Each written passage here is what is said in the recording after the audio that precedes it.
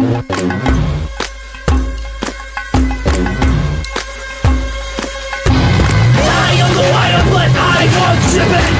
am the